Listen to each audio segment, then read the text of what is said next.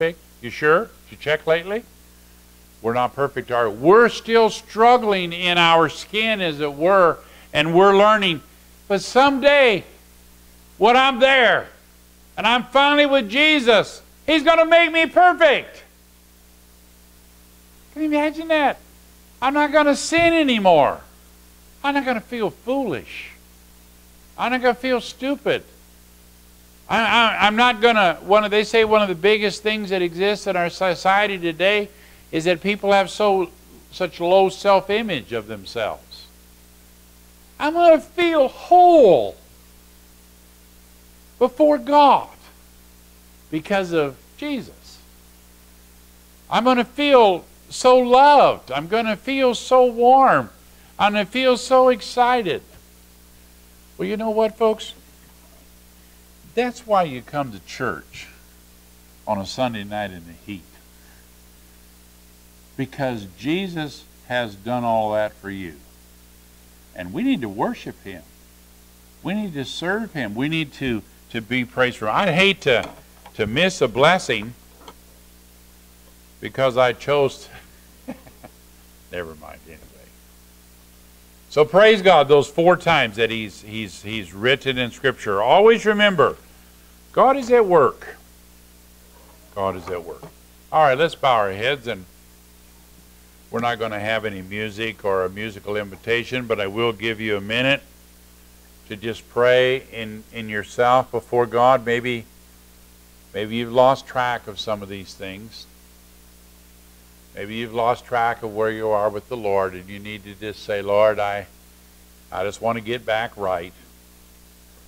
Maybe you just want to tonight feel like I do in that I just want to say thank you. Thank you, Lord. We don't stop and think about that often enough, but thank you, Jesus.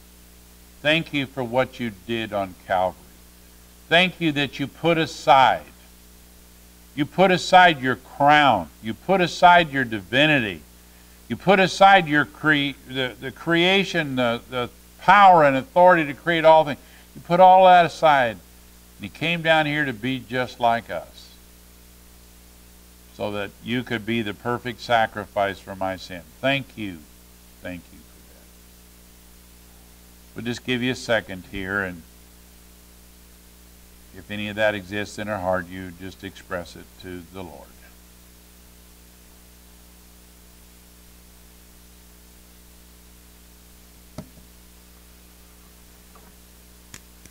Thank you for uh, being here tonight. I trust that you'll pray for Pastor this week. Uh, they uh, started driving after church today, and I presume they'll be, uh, they're supposed to be there sometime tomorrow, Brian. Is that the story? Going down to drop Julianne off, and they'll be uh, going to some weddings. And pray for them most especially next weekend because they don't get in here till 905 they don't get in, in here until Sunday morning, 9:05. So if anything happens one way or the other, it'll it'll certainly be it'll certainly be different. But have a very busy week and lots of things going on. So remember to pray for them. Father, thank you for this time tonight. Thank you for your blessings. Thank you for your word. Thank you for the faithfulness of your people who come to just praise you. Thank you for your faithfulness as you work with us each day, Lord, and keep on loving us and keep on forgiving us. And thank you, Jesus, that you made that sacrifice on Calvary for my sin. What would we do, Lord, without that? And we thank you for that. We pray you'll guide us this week as we go our way, as we live our lives. That that we can maybe express some of that to somebody else to let them on, in on that as well to know about you. Well, we just pray in Jesus' name. Amen.